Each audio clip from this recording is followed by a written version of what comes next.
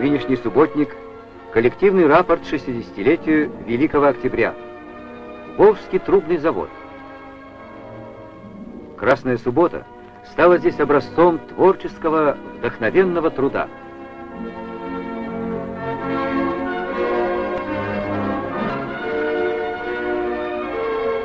В бригаде стана 2500, которой руководит Альберт Алексеевич Ташканов, производственное задание выполнено на 105%.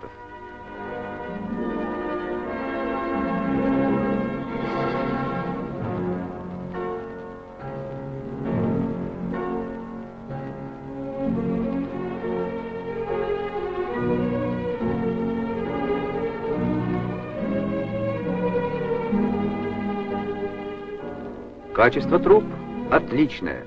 Они готовы к отправке на новостройки страны.